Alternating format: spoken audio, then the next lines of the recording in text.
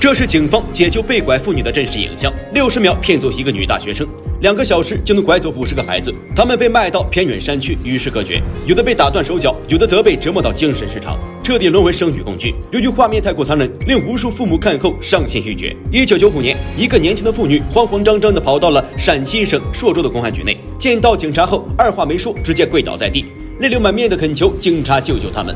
女子名叫王娟，是朔州本地人。朔州地广人稀，经济比较落后，再加上重男轻女的思想比较严重，因此在一些偏远小山村里，女人少之又少，而那里也就成为了买卖妇女的最佳之地。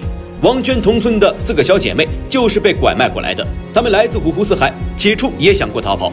但由于人生地不熟，再加上根本没有路费，因此很快就被发现。被抓回去后，不仅要忍受一顿毒打，还会像牲口一样用铁链拴住脖子和脚踝。对于他们来说，最难熬的时光莫过于晚上的时光。陌生的环境和陌生的男人，即使他们抗拒挣扎，却还是无能为力，只能任由男人肆意糟蹋。多次密谋逃跑失败后，他们不再硬碰硬，而是和村里人打好关系，等大家放松对他们的警惕后，才派王娟出来报警。警方接到报案后，火速赶到王娟的村子里。由于发展落后，因此大家看到这么多警车和警察，都觉得非常稀奇，纷纷上前围观。警方走进第一个受害人罗占花家里，他是吉林人，被拐卖到这里已经有三年时间了。多次的逃跑失败，早就令他心灰意冷。此时面对警察的到来，他显得有些不知所措。然而，等警方询问他愿不愿意离开这里时，他却没有任何犹豫的表示愿意离开，甚至连东西都不想收拾，直接就要跟警方离开。随后，警方又赶往其他三个受害人家里，一个安徽的被拐妇女，由于被拐来的时间太久了，长时间思念亲人，再加上买主的折磨，她最终精神崩溃，并在神志不清的情况下生下了一个男婴。面对警方的询问，明明回家的希望就在眼前，他却连一句愿意都无法说出口。按照当时的规定，要带走被拐妇女，必须要经过他本人的同意。但由于他神志不清，因此警方并没有得到确切的回答，也并没有将他顺利带走。原本一切进行的都非常顺利，然而正当他们准备离开时，却突然发生了意外。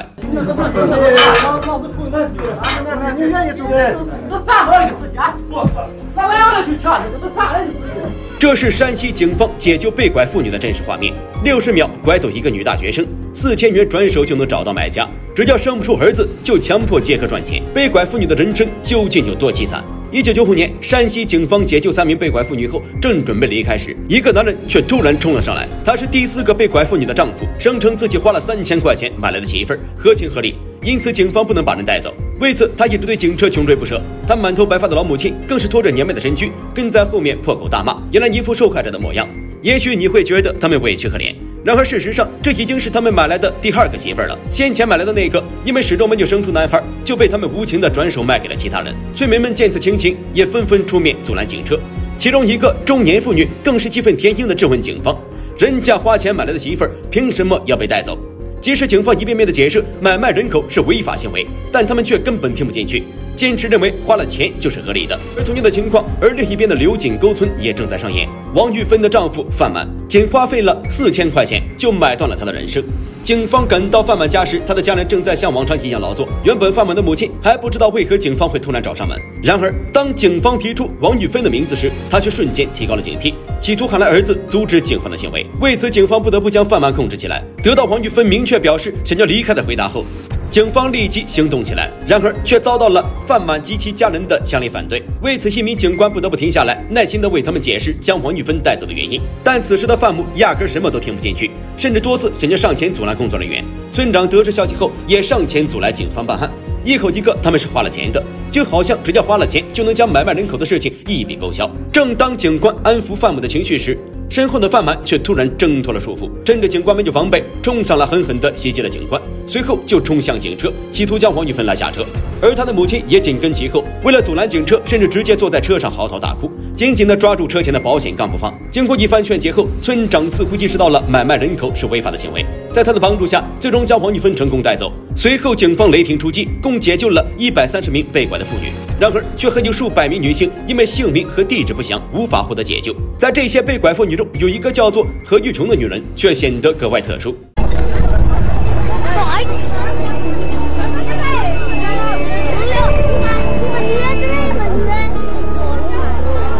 他是我国最年轻的人贩子，年仅十八岁，不仅拐卖了三十名妇女，还在短短几天之内就获利上万元。被判死刑后，却嚣张表示自己没有错。那么他究竟做了什么？一九七七年，何巨琼出生在四川巴山的一个贫穷的农户家中。由于家里条件不好，经常吃了上顿没下顿，家里人觉得女孩子读书没什么用，因此供她断断续续的读完小学后，就让她辍学，和同村的熟人一起去北京打工。由于年龄小，文化水平不高，还没有一技之长，因此好的企业根本就不要她。她只能到服装店买衣服，到饭店刷盘子。当地人非常排外，觉得她一个小女生好欺负，于是就经常无故克扣她的工资。因此，虽然来到了大城市好几年，但何玉琼却根本没有存到钱。为此，他经常到当地的人才市场转悠，希望能够找到一份安稳的工作。这天，他像往常一样来到了人才市场，突然一个男人凑到他面前，男人先是将他一顿乱夸，随后又询问他是不是在找工作。男人说自己正在招商店服务员。不仅薪资待遇丰厚，还包吃包住。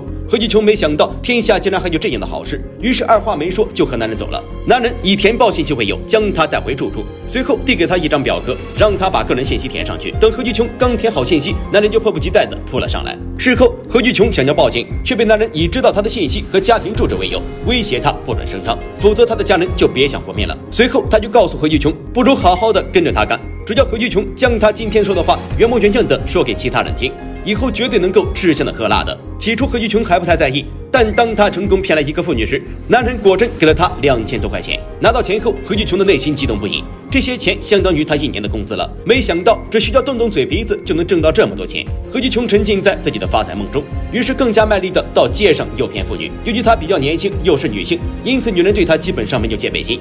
凭借这个优势，何巨琼先后骗到了三十多名女性，获利上万元。一九九五年，何巨琼被抓时才刚刚十八岁。对于审判，他不仅拒不认错，还坚持称自己是合理买卖，是为了农村的美满家庭，解救单身汉的正义行为。不知道他说出这些话的时候，有没有考虑过被他拐卖的妇女究竟有多凄惨？原本人家有幸福美满的婚姻，有丈夫和孩子，却因为她的自私自利，被诱骗到了偏远地区，和陌生的男人发生关系并生下孩子。即使被解救出来，还要重新面临骨肉分离的局面。